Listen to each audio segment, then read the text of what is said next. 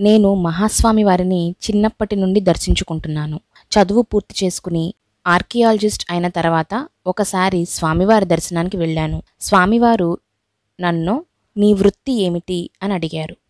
మన దేవాలయాల్లో పురావస్తు అధ్యయనాలు చూస్తుంటాము. ఎప్పుడైనా మహాబలిపురం వెళ్ళావా? అక్కడ ఏం పరిశీలించావో నాకు చెప్పు అని అడిగారు. పాండవుల రథం మహిషాసురమర్దిని మొదలైనవి చూశాను. అని బదులిచ్చాను. అక్కడ పల్లవుల గడియారం కూడా ఉంది. నువ్వు చూసావా అక్కడ? స్వామివారు నాతో పరాచికం ఆడుతున్నారు అనుకుని ఇలా అడిగాను. పెరియావా ఆ కాలంలో పల్లవుల వద్ద గడియారాలు ఎక్కడవి? ఉన్నాయి అక్కడ ఉంది ఉంది. మరలా అక్కడికి వెళ్ళినప్పుడు చూడటానికి ప్రయత్నించు అని దృఢంగా చెప్పారు. మరలా వారి దర్శనానికి వెళ్ళినప్పుడు నన్ను అడిగారు గడియారం చూసావా అని. లేదు పెరియావా ఎక్కడ చూడాలో నాకు తెలియలేదు అని చెప్పాను. అర్జున తపస్సు చూశావా? చూశాను.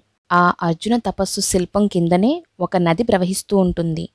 నదికి దగ్గరలో ఒక ఋషి కూర్చుని ఉంటాడు. దాని కిందనే కొంతమంది కూర్చుని వేదం చదువుతూ ఉంటారు. ఒక వ్యక్తి బట్టలను పిండుతుంటాడు. ఇంకొక వ్యక్తి మధ్యాహ్న సంధ్యావందనం చేస్తుంటాడు. మరొక వ్యక్తి రెండు చేతుల యొక్క వేళ్ళ సందులో నుండి సూర్యుడిని చూస్తుంటాడు. శిల్పి ఏం చెప్పదలుచుకున్నాడంటే అప్పుడు సమయం మధ్యాహ్నం పన్నెండు గంటలు అని. ఎందుకంటే ఆ సమయం అప్పుడే మధ్యాహ్న సంధ్యావందనం చేసేది. అందుకే నేను దాన్ని పల్లవుల గడియారం అని అన్నాను. ఇది విని నేను ఆశ్చర్యపోయాను. శంకర ఏమి? పరమాచార్య స్వామివారి అసాధారణ పరిశీలనా దృష్టి. జయ జయ శంకర. Hara Hara Senkara.